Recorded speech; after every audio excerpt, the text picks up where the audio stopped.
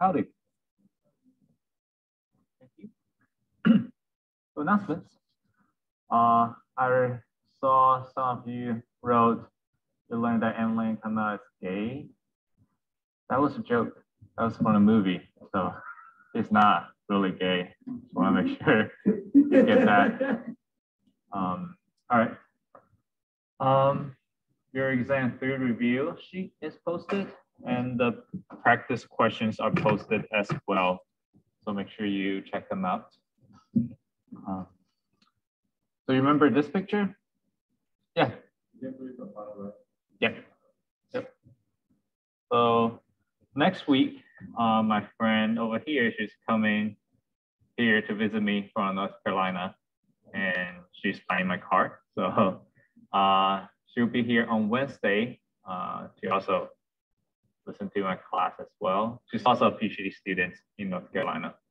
Uh, and we will take the class picture on Wednesday, 21st. If you want to, and be here, we will try to take it at the end and she will help us to take the picture. If you don't want to be in the picture, that's fine too. You can just leave after class. Uh, for online students, I will just uh, have your pictures showed on the big screen here and we can try to get a picture together. Yep, and again, if you don't want to be in the picture, that's fine too. Uh, it's just for myself, uh, personal interest. I wanna uh, get to know my students in the future. And if you you're successful in the future, feel free to reach out and let me know what you guys are doing. Uh, I'll be happy to hear that. Uh, how many of you are planning to go into grad school? Ooh, a lot, a lot. Okay. Um, so there are some articles. Uh, it's talking about grad students and mental health. Um, so when I say grad students, what comes to your mind? Like anything outside, like after like education past your undergrad, mm-hmm. like masters also count as mm-hmm. grad students. Mm-hmm. Yeah. I mean, some of that staying up till 4 a.m. Okay. uh, okay, exhausting, probably. A lot of work. Okay, what else? Yeah.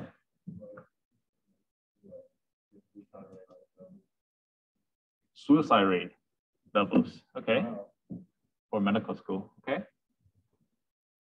What else? So would you say it's because of stress? Okay, kind of a, a lot of work, right? Yeah. Okay.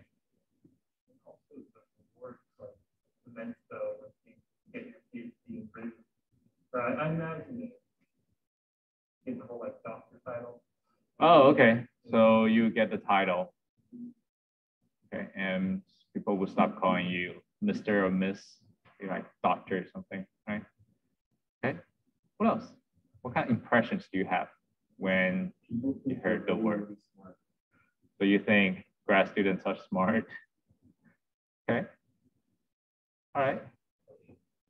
Do you think that grad students are broke as hell? They're broke as hell. Uh, yeah, that's true. But usually it doesn't matter. Uh, even if you got like grants, usually they don't pay you very well. Uh, it's usually for research fundings. Okay? Your stipend is not very high. Okay. What else? For those who wants to go into grad school, what's your impression? Like, what do you imagine when you become a grad student? Um, a lot of research.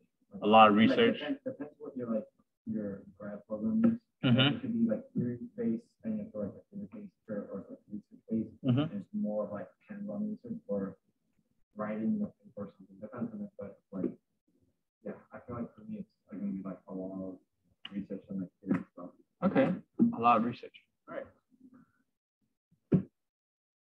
Any other thoughts? Oh no. What about online students? Do they say anything? No. Okay. So, uh, so basically, your impressions are pretty accurate. Uh, it's a lot of work. It's also five to eight years of your life uh, living with like a priority status. Uh, that's a long time. So I get paid 2000 per month. And after tax is about 1700. So it's not a lot. Um, some schools, they ask you to pay fees as well. So for our schools, for our departments, they just got rid of the fees, uh, which is good. If they don't get rid of that, I will pay 1400 per semester. So it's my like my a month on my salary. So that's a lot of money. So you constantly are thinking about uh, your living, your rent and stuff like that. But that's also pretty lucky for grad, I mean, PhD students because they get paid. If you get into a master program, you need to pay tuition and you don't get paid uh, unless you can apply for jobs and stuff. A perk for getting a PhD is that uh, your tuitions is covered. Uh, so we don't need to pay for tuitions. Um, so it's like pros and cons. You get paid very little, but you don't need to pay tuition, so you get a higher education. But that's a huge chunk of your life. So talk to people, talk to professors and grad students if you really think about going to grad school. And also it's a lot of stress. When you go into grad school, uh, people might think that you're smart, but you don't think so. Like yourself will think that you're dumb as fuck. That's true uh, because you just don't know what to do in in grad school, and then you're lost all the time. Um, so that creates a lot of stress. So you're right, the suicide rate is increased uh, if you go into grad school. I don't know the exact numbers for medical school. Uh, I'll take your word for it, but uh, they are at least six times more likely to get anxiety disorders or depression disorders than a common population. So it's a lot of stress. I'll take those into consideration. Those two are pretty cool studies that they have done and it's on the news. So if you're interested, take a look at that. That sounds a little depressing, so I'm gonna lighten the up the mood a little, little bit. So here is a pretty accurate description of grad students, but very funny. I'm gonna taunt the PhDs. Hey guys, I heard an assistant professorship just opened up. Whoa, yeah. At the University of Psych! Aww. I was so bored I cut the ponytail off the guy sitting in front of us. Look at me, I'm a grad student. I'm 30 years old and I made $600 last year. Bernard, don't make fun of grad students. They just made a terrible life choice.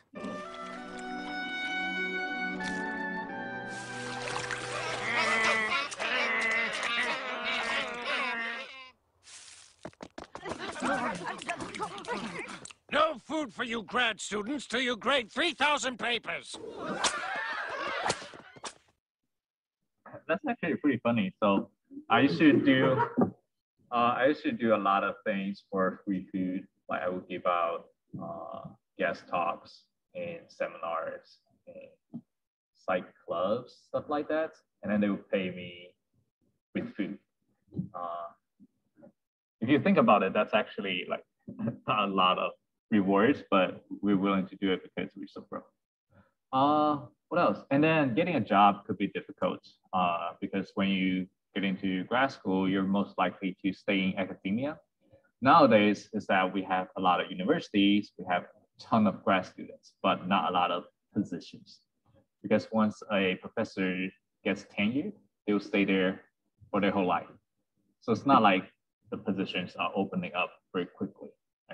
You have to wait until someone is retired or someone is dead, and then that position is open. So yeah, um, that's grad schools. Uh, okay, so uh, how many of you finished the research requirement? Okay, most of you, very good. Whoa. If you haven't, make sure you do that quickly because it's the end of the semester and gets busy with research credits. So for today's agenda, we are going to finish the categories of psychological disorders. Uh, of course, we're not covering Is it flashing or? Okay, I thought it was my my screen or something. So- Okay, if it keep keeps flashing, let me know. I'll try to figure that out. Um, so we're not covering all the disorders. Uh, I'm just trying to cover some important disorders. Um, but if you're interested, again, the DSM-5 is free. You can rent it or you can borrow it from the library here. And then we're going to talk about some therapies. So today we'll cover psychoanalytic and humanistic. That's annoying.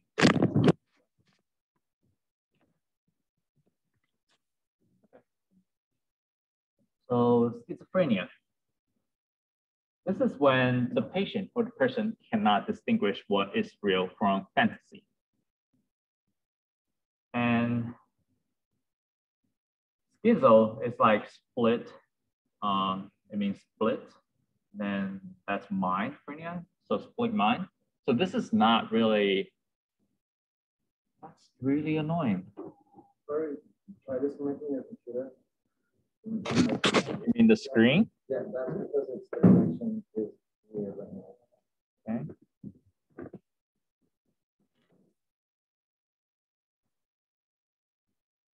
All right. Okay, we'll see.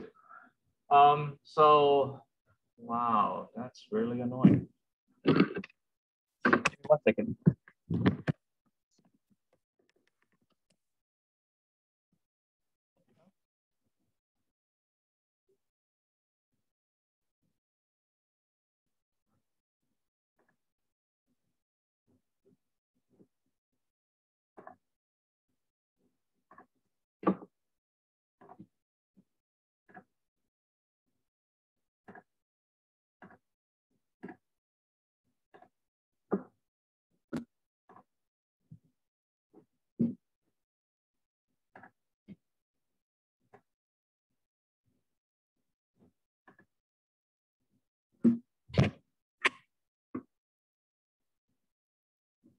Okay, so uh, kind of lost what I was saying, but schizophrenia is when the person cannot distinguish what's real and what's fantasy, and they have disturbed thinking, emotion, perception, and behavior because of that.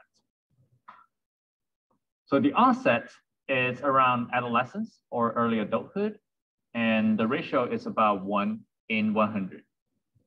So I would say it's pretty common. Schizoid that means a break from the reality. One example is Louis Wain, and he is a painter, and you can see how he progressed through his painting with his um, schizophrenia. Right, this is at the beginning when he draws a cat. And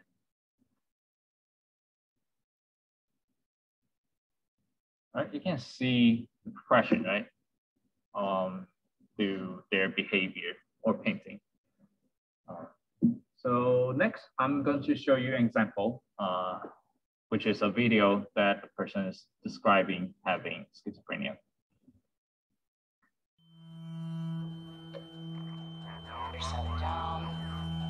Don't get up. You're good. Don't do Sure. anything. Stop what you're doing. Don't do anything. Stay in your bed all day. Head up.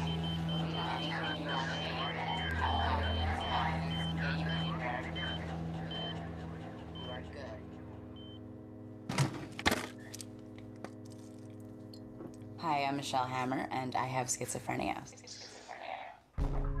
Schizophrenia is a mental illness that changes the way you think, feel, and act. It's broken down into three separate categories positive, negative, and cognitive. Positive symptoms don't mean they're a good thing. It's an add on to your normal behavior. Things like hallucinations, delusions, and voices. You know, I had so many ghosts and shadows inside of my mind.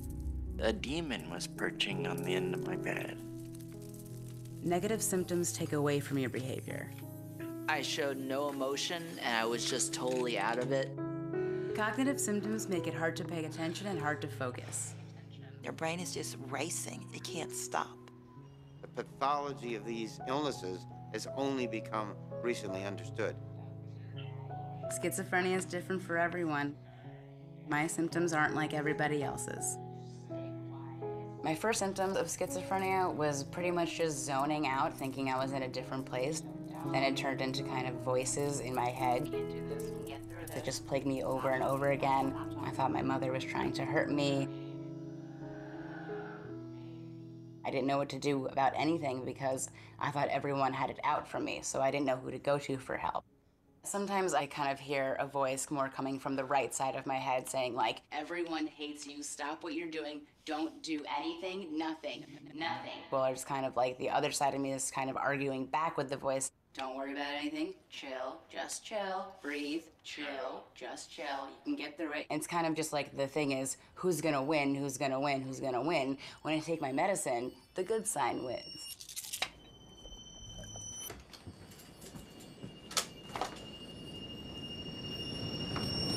I mean, living in the city and having schizophrenia is interesting just because, you know, I do hear voices as I'm walking down the street. So in my head, I'm thinking of the person talking to me, but then I start talking back to the person. And then maybe I'll snap out of it, look around, and like five people are staring at me.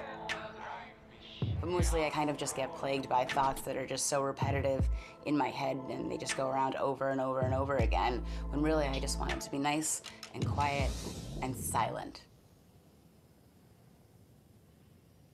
All through high school, I had this like really crazy paranoid delusion that my mother was trying to kill me. Kill me, kill me, kill me. Every time she went to try to get me to a therapist or anything, because she knew something wasn't right, I always thought she was trying to ruin my life. So when I went to college, I thought I was free of her. And everything was great, and then all of a sudden, my best friend, my roommate, I started thinking the exact same things about her. So realizing that I had the problem was like the start of the entire thing. And that was the hardest thing to do, I think, realizing there was a problem. At 18, I was told I was bipolar, but I kind of knew that diagnosis was incorrect. So at 22, I spoke to a different doctor, and I was more honest with him, and he diagnosed me with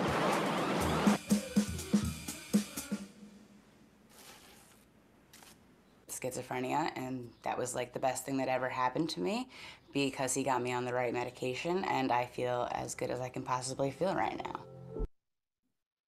All right. Uh, any questions? Uh, also, everyone's symptoms are different, so it's not like that symptoms apply to her and applies to every single person who uh, is suffering with schizophrenia. Okay, so there are two different symptoms, uh, and you need to have two symptoms frequently for at least a month to be diagnosed. Uh, we have the positive symptoms and the negative symptoms. Uh, positive symptoms, it means that you have something that's added to your normal behavior or perception. And negative symptoms is means that your normal behavior is absent. Okay? So positive symptoms uh, include like uh, disorganized thoughts, hallucinations, delusions, disorganized speech, etc. The negative symptoms include reduced speech, flat affect, so it means that they don't have a lot of emotions, social withdrawal, don't really interact with people, and the absence of pleasure and motivation.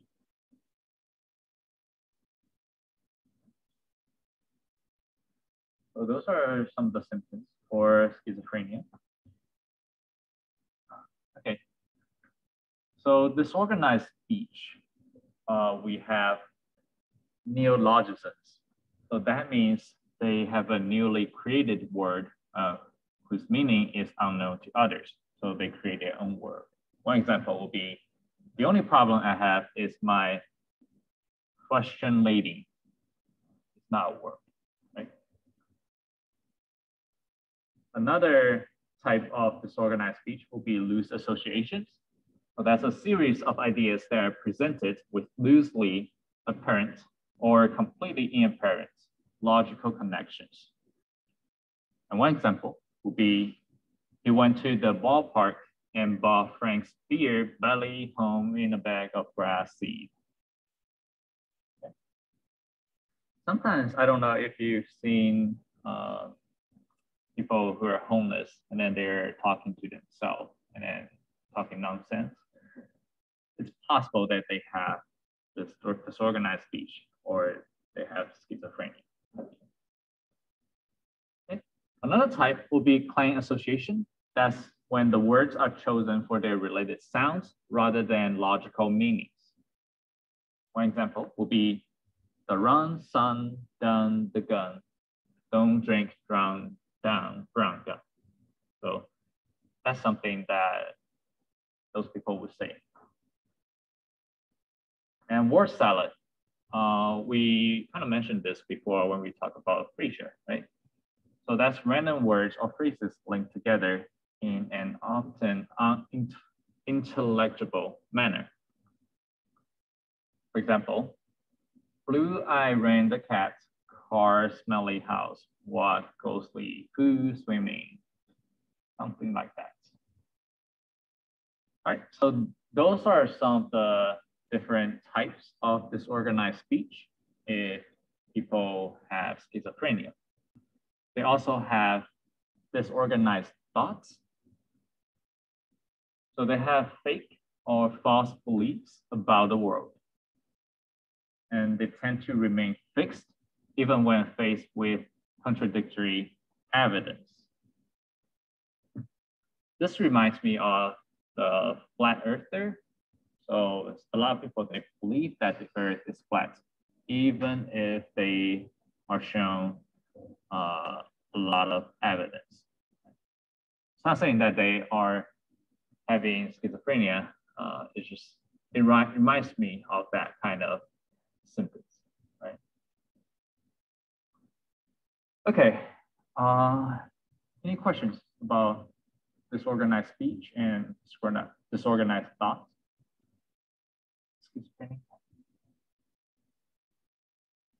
Good. So the causes for schizophrenia, uh, there are several. The one is the biological factors. This include uh, inherited. Inherited. So what we found that people who are identical twin, they're more likely, oh, if one person has schizophrenia, the other person are more likely to have schizophrenia. And that's the risk. It's about 50%, half and half. And then that will be the rate in the general population, about 1%, one in 100. And you can see if they're related in genes or family pools, they're more likely to have this higher correlation of having schizophrenia. So they can be inherited. Another one will be the brain abnormal, abnormalities. So if we see um, people with schizophrenia, their brain activities uh, will be different from a normal person with or without a stimulus because sometimes they can see something that's not there. They will stimulate their, their brain on their own. Okay. And then some other causes include psychological and social factors. So learning experiences that could influence or trigger people with schizophrenia. Stress could be a trigger. And then weed, uh, so marijuana, and people's genes can be a combination to lead to schizophrenia. So here is a study for people who has a certain genes, and if they did uh, marijuana in their teenage age, teenage years, the likelihood that they will get uh, schizophrenia is much higher than those who doesn't do marijuana. So if you don't know if you have that gene, I think it's called AMT or COMT. There are several genes. Don't do marijuana if you don't have to. Uh, increase the risk. Also, uh, pregnancy marijuana use or pregnancy uh, tobacco use could influence the risk of having schizophrenia too. So in summary, uh, marijuana and tobacco, I would say they're the risk of taking them is much bigger than the benefits that people claim that they have. So you don't have to, don't take them. Yeah. This? Uh, so those will be the participant numbers, right? And that's the, uh, wait, hold on. Oh, so those are the genotype for people who doesn't have that gene versus people who have that gene. Okay, so this one is the one has the genes and took marijuana. The yellow bars are the ones who haven't taken the marijuana. Right. So it kind of shows that uh, if you have taken marijuana, your risk is always a little bit higher than the people who uh, doesn't have that gene compared if you have the genes. So your risk goes up no matter what uh, if you have the gene. But I would say the difference here is not big if you don't take marijuana, if that makes sense. If you take marijuana, big difference over there. Sometimes I, I don't know how familiar or your ability to read graph. So if you don't understand something, let me know and I'll try to interpret it for you. Okay. All right. Uh, so we have the diathesis stress or the stress volunteer vulnerability model. Uh, if you remember, we kind of talked about this when we talk about other disorders. So basically saying that you don't develop the disorder unless you're exposed to environmental or emotional stress at critical times in development, such as puberty. So you need to have the predisposition or your genes, and then you need some kind of stressor to trigger that. That's based on this model. Right. If you don't have any questions, I'm gonna have you to do a practice question. Uh, you're a clinical psychologist meeting with a schizophrenic patient who says to you, my real name is Abel, A Bell, you know, like Maybell, Bell Jar, Bella Jordan, Batman in the Bell. What symptom has the patient just reviewed? My association? What do you guys think? You agree? Okay, very good. So because they sound alike, my association. All right. Next, we have personality disorders. This is very different from the disorders that we just mentioned. So for the people who have this uh, personality disorders, um, it's more likely for them to be unaware that they have symptoms or they have the disorders. For example, a psychopath or um, or narcissist, they usually don't think that they have a problem. They think everyone has the problem, if that makes sense.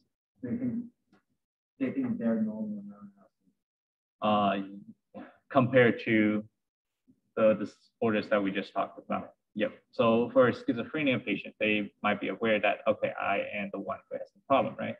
But this is kind of opposite uh, for personality disorders. Okay, so those are long-standing, inflexible ways of behavior that create problems uh, when you have the personality disorders. The onset is in childhood or adolescence. And there are three disorders divided into three clusters. I'm gonna talk about those one by one. So sometimes people will ask the questions, are these considered mental disorders? Because sometimes you can vary uh, among cultures. So maybe someone would just say those people are odd or they're selfish. Uh, what else? They're just violent. And they're less likely to label them as personality disorders. So that could be a discussion um, for you if you're interested. How do we diagnose them? How do we use those criteria, right? Okay, so first we have the cluster A, uh, personality disorders. And we also call it the odd eccentric cluster. First type will be paranoid. That's when the person is suspicious, distrustful of others, and they assume other people to be hostile. And then we have schizoid. That's the person having negative symptoms of schizophrenia. If you remember, negative symptoms it means that you have some kind of normal behaviors are absent, such as socially detached, restricted emotions. You don't feel when you are experiencing some kind of emotional events. That's the chart. And then we have schizotypical, uh, schizotypal. So that will be the positive symptoms of schizophrenia. Uh, also includes socially detached odd thoughts, behavior. Um, so the reason for socially detached here could be different from here. So for here, it could be that they have the positive symptoms. So they don't want to interact with other people because they think that they're unreal or they don't want to make a mistake and talking to the person who are not there and then people look at them weirdly. And they're not disturbed enough to be diagnosed as schizophrenia. So they just have those symptoms. So if you remember, yeah. Yes, yes. So if you remember, we are talking about symptoms in those disorders, but we're also talking about you need to have at least certain of symptoms and then for a certain amount of time to be diagnosed right? sometimes those symptoms can overlap. So that will be cluster A. Cluster B is also called the dramatic erratic cluster. First one will be the histrionic uh, personality disorder. That's when people are having uh, excessive emotionality and they must be the center of attention and they're emotionally shallow. right? Sometimes we call people, oh, you're too emotional, right? That's kind of like the symptoms of having this histrionic personality disorder, but maybe it's not that severe. Okay, and then narcissistic. That's when the person has exaggerated own importance. They're arrogant, uh, and they lack of empathy, so they cannot sympathize with others.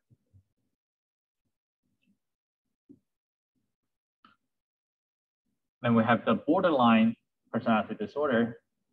That's when the person has intense, unstable emotions and relationships. They have increased impulsivity. Uh, they have suicidal gestures.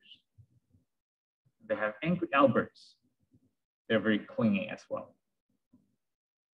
So those are symptoms for borderline disorders. Then lastly, we have the antisocial uh, personality disorder. That's when the person has lack of remorse.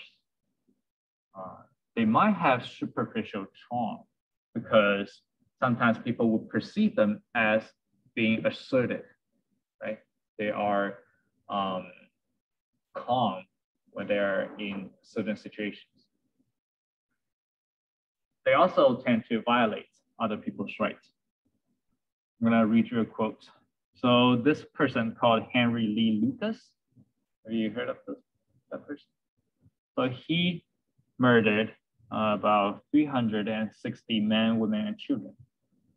So in his quote is that I think of killing like smoking a cigarette, like another habit so they don't have any remorse. And do you guys know the case for Chris Watts, who killed his wife and children I embedded that link here. Uh, if you're interested, you can take a look at that. So for the person who can uh, kill their family members and their children cold-blooded, and then he pretended he doesn't know what's going on. He even went to interviews, go to uh, news stations, um, and finally they caught him. So I would say he probably have antisocial personality disorder. Okay, so that would be cluster B. Uh, any questions? So have you heard of psychopath, sociopath? So those are actually not disorders. Uh, those are more like um, a symptom or how do normal people describe uh, a person with antisocial personality disorders. So you cannot say you have you're a so, sociopath or you're a psychopath and that's a disorder. That's not accurate. Okay, uh, next we have the cluster C, and we also call this the anxious fearful cluster. Um, the first type will be the dependent personality disorder, and that's when the person have excessive need to be taken care of, submissive, and helpless. Next, we have the obsessive compulsive personality disorders. So this is different from the OCD that we mentioned last time. This is more of the personality disorder. So they are uh, preoccupied with others. Um, they like to control and keep things clean. So they're very sim similar. Um, but when we take out OCD uh, to talk about that uh, as a individual disorder, uh, it just sometimes uh, the severity can be different. And there are a lot of changes in the DSM. So through one to five, uh, they used to categorize uh, homosexuality as a mental disorder in DSM-4. And then they now changed it to DSM-5 and they got rid of that. And also, what else? Uh, they had the gender identity disorder. Have you heard of that? Yeah. Uh, I think it was called gender dysphoria and they changed it. Um, sometimes I feel like uh, those criteria can be influenced by uh, politics as well. They're not politically correct at that period of time. They will need to change that. And then we have the avoidant personality disorders. That's when they are oversensitive to criticism. Have the feelings of inadequacy and inhibition in social situations. So that will be cluster A, B, and C in personality disorders. Uh, you don't really need to memorize the definition. Uh, you just need to look at the term and you understand what does that mean. And when a person is diagnosed with that disorder, what kind of symptoms they have. I would say they're pretty different from each other. It's less likely that you get confused. So uh, that's good. Okay, uh, a practice question. Buffy keeps going around ramming wooden stakes through the hearts of Sunnydale students. She doesn't feel bad about it at all. Her guidance uh, counselor thinks she may have what personality disorder. Okay. okay. Very good. Antisocial. Very good. Uh, next, we are going to talk about some therapies, so psychotherapy. Uh, and we are going to talk about psychoanalytic. If you remember psychoanalytic, uh, do you remember the person who developed this? Yeah, so unconsciousness, right. Okay, so in psychoanalytic uh, therapy, the assumptions are people are driven by sexual and aggressive instincts. And they have conflicts among their id, ego, and superego. So they try to explore childhood events to help understand psychological problems. And that's when you see in the movies or TV shows, they ask, oh, tell me about your childhood. What did you experience? That's more like psychoanalytic. And another uh, stereotype is that they will ask the patient to sit or lie down. And the psychologist will be sitting next to them and they ask questions. That's psychoanalytic. The goal for this kind of therapy is to gain insight by understanding unconscious thoughts, emotions, and conflicts.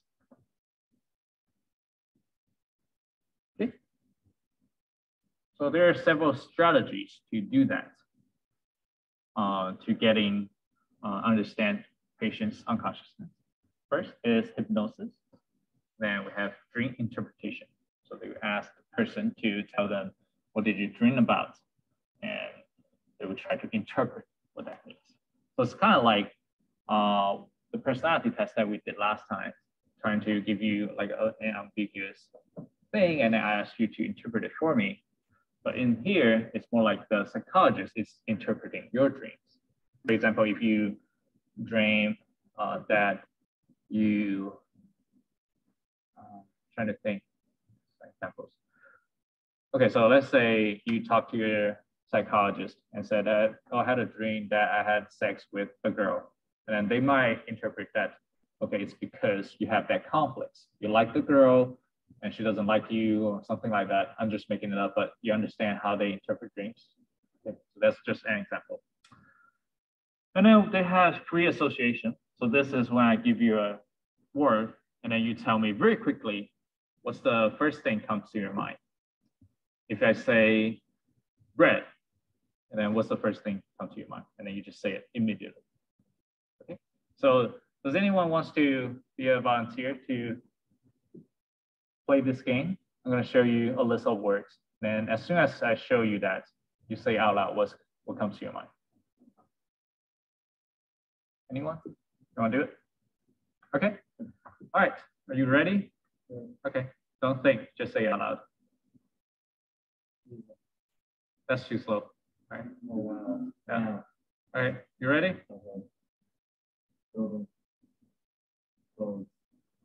Yeah. Gold. When. Yeah. Are you just reading? Yeah, I, my head is like, when, when? Okay. All right. Question. Water. Space. Nine. Water. Pool. Door. Food. Rocks. Cigarettes. Mole. Okay. So that would be an example. Uh, there was uh, one class that I had. Uh, I forgot it was last year or the year before. Um, I had more expressive words here. So like that, um, racism and stuff. It got pretty dark.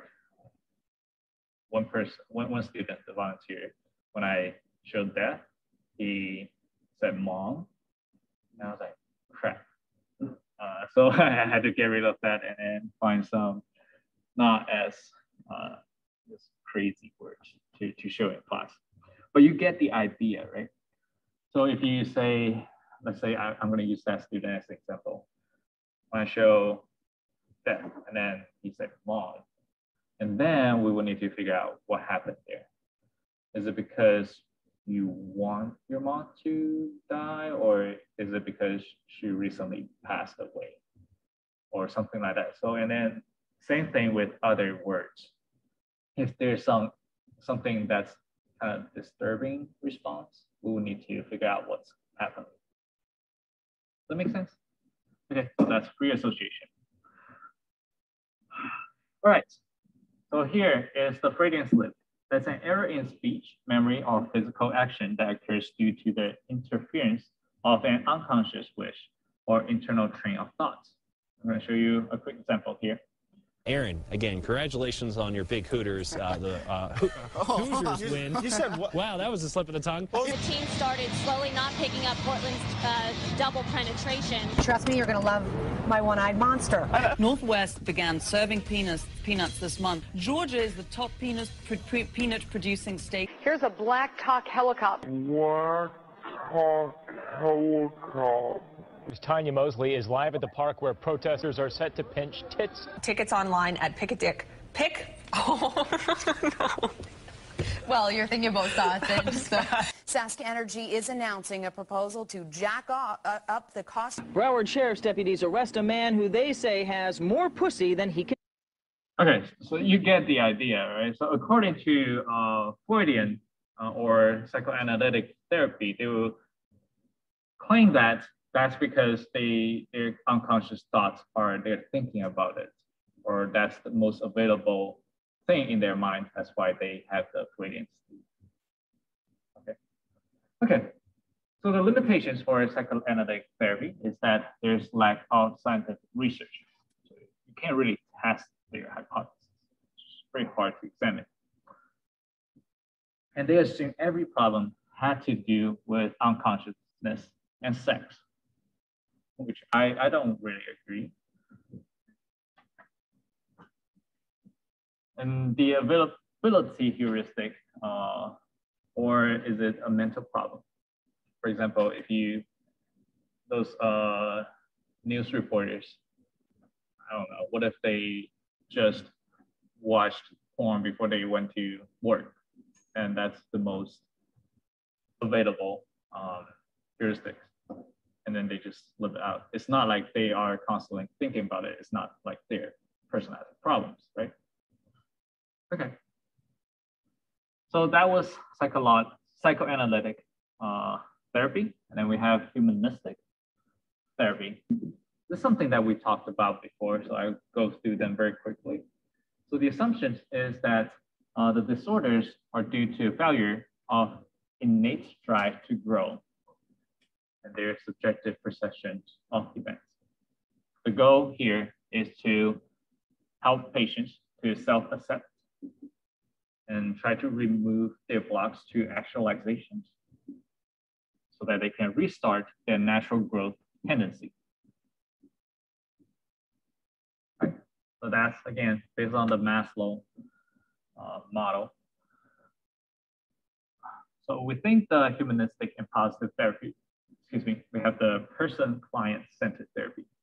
This suggests that growth is facilitated by acceptance and genuine reaction from therapists. The unconditional positive regards means that therapists accept their clients unconditionally.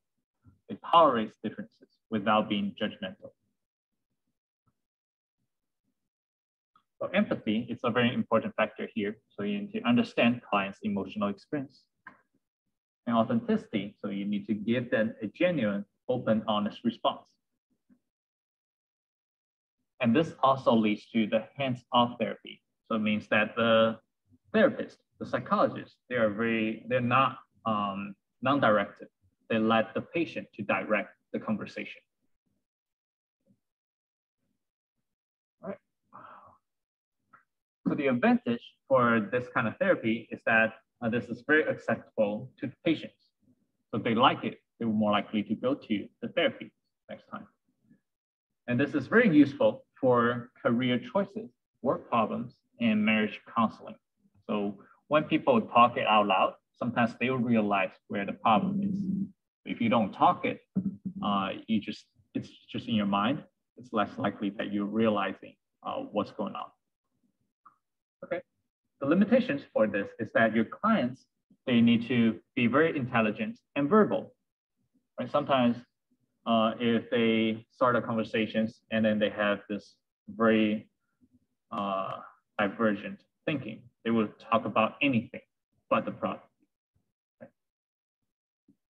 And then there are mixed findings about the effectiveness for this type of therapy. So it really depends on the situation that you're having. It works for some patients and it doesn't work in certain situations. Okay, that's it. We are right on time. So if you don't have any questions, um, I'll see you next week. And then if you're here for the Jade, uh, I think there are less than 20 people sign up on the Excel sheet, so not too worried. Um, and you can just come here and pick it up.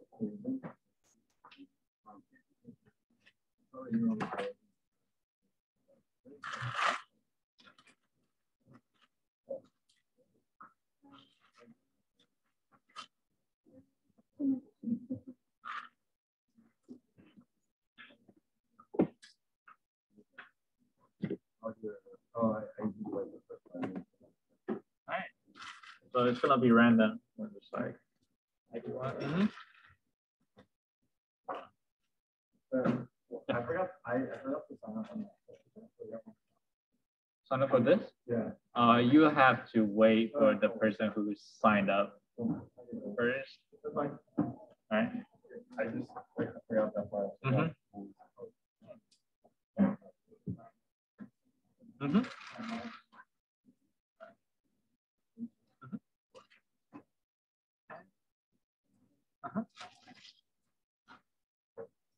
Thank you. No problem. Choose not to answer the question, but do you think that um, transgender people have a disability? That's a little sensitive. But if you're interested, we can talk about it when not many people are here. Because okay. um, I, I don't know if people will get offended. I'll, I'll ask you next time. Okay, sounds good. Mm-hmm. Oh. Mm-hmm.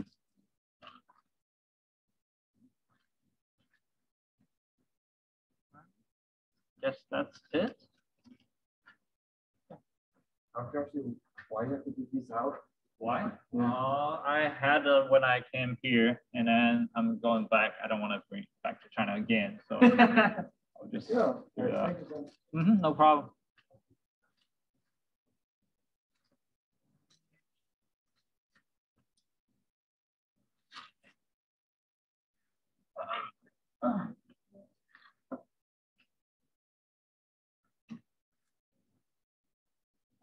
You want one? Yeah.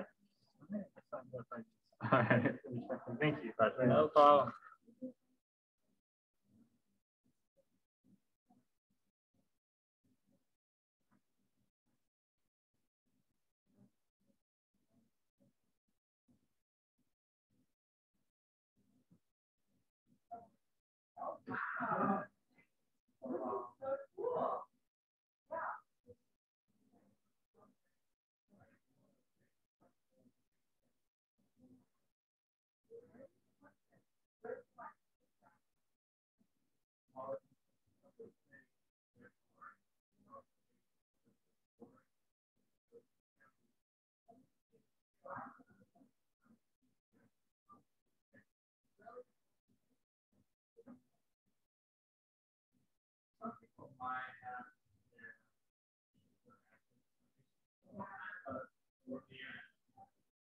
Yeah, yeah.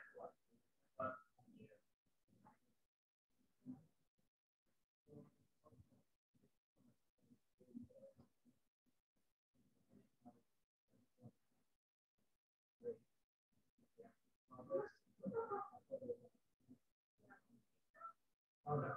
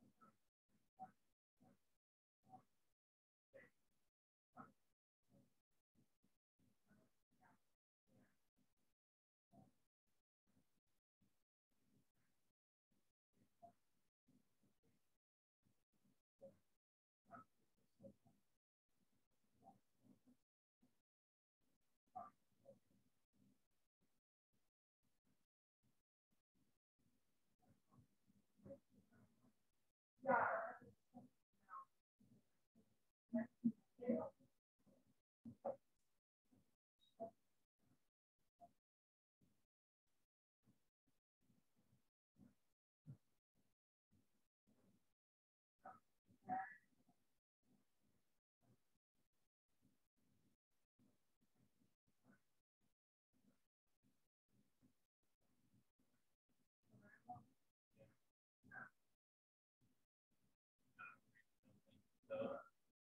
Uh-huh.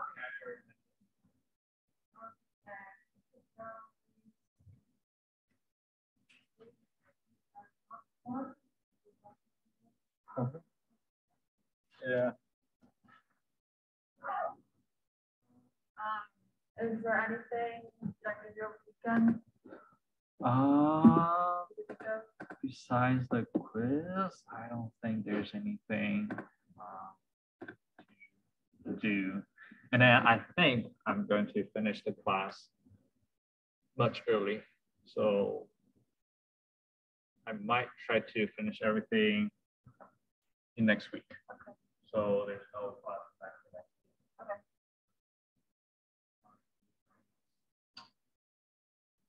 That's like classes.